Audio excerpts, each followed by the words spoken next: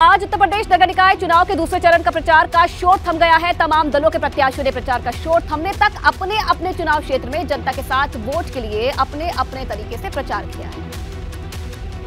दूसरे चरण का चुनाव प्रचार खत्म होने से पहले सभी दलों के दिग्गजों ने अपनी पूरी ताकत लगा दी।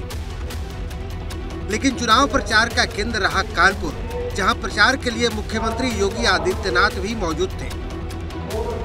और समाजवादी पार्टी अध्यक्ष अखिलेश यादव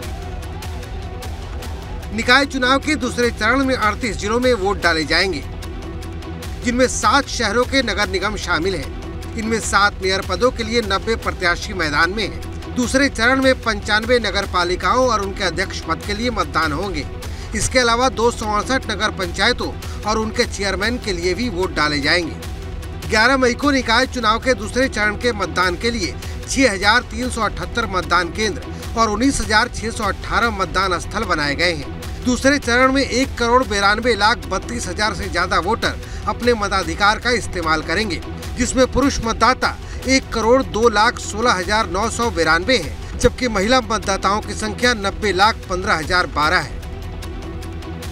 तो निकाय चुनाव के प्रचार के आखिरी दिन मुख्यमंत्री योगी आदित्यनाथ आज भी तीन जिलों का उन्होंने दौरा किया और विरोधियों पर फिर से सियासी हमले भी कर दिए। मुख्यमंत्री योगी आदित्यनाथ सबसे पहले कानपुर पहुँचे, जहाँ उन्होंने सपा, बसपा और कांग्रेस पर हमला बोलते हुए कहा कि कानपुर कभी दंगों के लिए पहचाना जाता था, लेकिन अब कानपुर में तेज़ी से एयर और रोड कनेक्टिविटी बढ़ती जा रही है। कभी कानपुर कर्फ्यू के लिए जाना जाता था।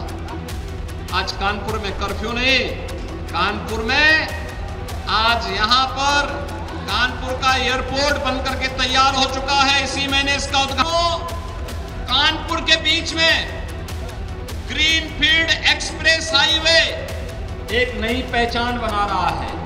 कानपुर के बाद सीएम योगी बुंदेलखंड के बांदा पहुँचे। लोगों को संबोधित करते हुए सीएम योगी ने कहा कि चंद महीनों में ही बुंदेलखंड के हर घर में नल से जल योजना पूरी हो जाएगी। नल की योजना के माध्यम से हर व्यक्ति को शुद्ध पेयजल की सुविधा मिले। सीएम योगी ने बुंदेलखंड के एक और ज़िले चित्रकूट में भी चुनावी सभा को संबोधित किया। आज निकाय चुनाव के दूसरे चरण का प्रचार थम गया और अब 11 मई को दूसरे चरण के चुनाव के लिए मतदान होंगे। विवादों में चल रही फ़िल्म द केरला स्टोरी को उत्तर प्रदेश में टैक्स फ्री किए जाने का ऐलान सीएम ने कर दिया। भले ही देश भर में द केरला स्टोरी फ़िल्म को लेकर जमकर राजनीति हो रही है इसी बीच मुख्यमंत्री योगी आदित्यनाथ ने इस फ़िल्म को उत्तर प्रदेश में टैक्स फ्री करने का ऐलान किया है। देखेंगे तो बहुत अच्छा है। और कोई अच्छी दे, देश हित में कोई फ़िल्म आती है तो देखना ही चाहिए। खुद सीएम योगी आदित्यनाथ 12 मई को लोक भवन में अपनी कैबिनेट के साथ द केरला स्टोरी फ़िल्म देखेंगे। मुख्यमंत्री योगी आदित्यनाथ अपने पूरे मंत्रिमंडल के साथ 12 मई को इस फ़िल्म को देखेंगे। इसके पहले उत्तराखंड के सीएम पुष्कर सिंह धामी ने अपने मंत्रिमंडलीय सहयोगियों और पार्टी पदाधिकारियों के साथ फ़िल्म केरला स्टोरी देखी। सभी से अनुरोध करता हूँ सभी लोग इस फ़िल्म को ज़रूर देखें। मध्य प्रदेश में फ़िल्म द केरला स्टोरी को टैक्स फ्री किया जा चुका है। दूसरी तरफ़ पश्चिम बंगाल में इस फ़िल्म को दिखाने पर तुरंत रोक लगा दी गई है। बंगाल में फ़िल्म दिखाने वाले किसी भी सिनेमाघर के खिलाफ कार्रवाई किए जाने के आदेश भी दे दिए गए हैं। द केरला स्टोरी पर देश भर में सियासत जारी है। यूपी में भी फ़िल्म को टैक्स फ्री किए जाने पर विवाद शुरू हो गया है। एक तरफ़ भाजपा फ़िल्म को समर्थन में खड़ी है तो दूसरी तरफ़ विपक्ष इस फ़िल्म के खिलाफ मोर्चा खोले हुए। है फाइल्स ने उत्तर प्रदेश में राजनीतिक तूफ़ान खड़ा कर दिया है। फ़िल्म को लेकर सियासी बयानबाजी जारी हो गई है। भाजपा पूरी तरह से इस फ़िल्म के समर्थन में खड़ी है। को जिस ढंग से बेटियों के साथ जो व्यवहार केरल में हो रहा है सबको देखना चाहिए।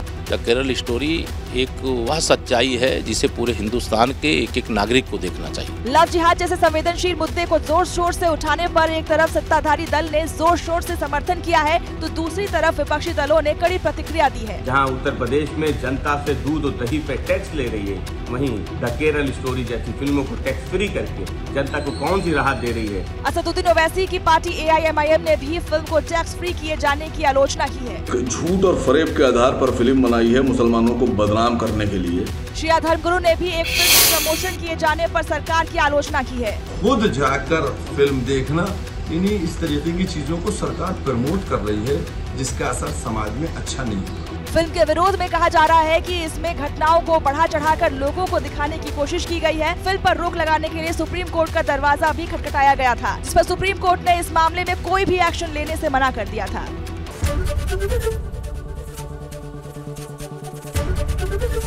एबीपी गंगा खबर आपकी जुबा आपकी।